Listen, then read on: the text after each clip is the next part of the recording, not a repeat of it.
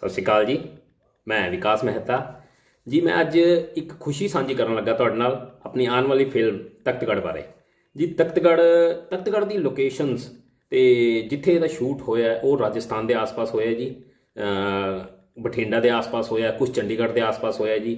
ਬਾ ਕਮਾਲ ਲੋਕੇਸ਼ਨਸ ਤੇ ਐਜੀਓ ਲੋਕੇਸ਼ਨ ਤੇ ਕੰਮ ਕਰਕੇ ਮਜ਼ਾ ਆ ਗਿਆ ਜੀ, ਸਵਾਦ ਆ ਗਿਆ।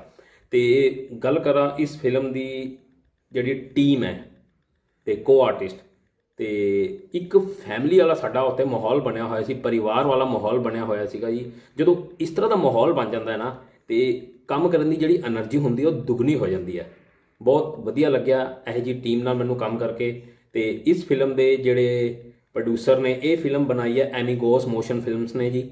ਤੇ ਇਸ ਫਿਲਮ ਦੇ ਪ੍ਰੋਡਿਊਸਰ ਨੇ ਕੁਲਦੀਪ ਸਿੰਘ ਧਾਰੀਵਾਲ ਭਾਜੀ ਯੂ ਐਸ ਏ ਤੋਂ ਤੇ ਗੁਰਜੀਤ ਸਿੰਘ ਧਾਰੀਵਾਲ ਭਾਜੀ। ਤੇ ਇਸ ਫਿਲਮ ਨੂੰ ਡਾਇਰੈਕਟ ਕੀਤਾ ਹੈ ਬਲਜੀਤ ਨੂਰ ਭਾਜੀ ਨੇ।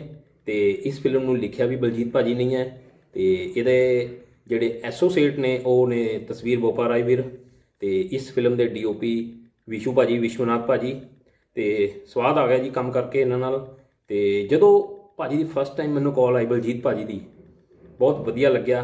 ਭਾਜੀ ਨੇ ਇਸ ਫਿਲਮ ਵਾਸਤੇ ਮੇਰੇ ਤੇ ਮੈਨੂੰ ਜਿਹੜਾ ਕਰੈਕਟਰ ਪਲੇ ਕਰਨ ਨੂੰ ਦਿੱਤਾ ਹੈ, ਮੇਰੇ ਤੇ ਭਾਜੀ ਨੇ ਵਿਸ਼ਵਾਸ ਕੀਤਾ ਤੇ ਮੈਂ ਭਾਜੀ ਦਾ ਦਿਲੋਂ ਦਿਲੋਂ ਧੰਨਵਾਦ ਕਰਦਾ ਵਾਂ।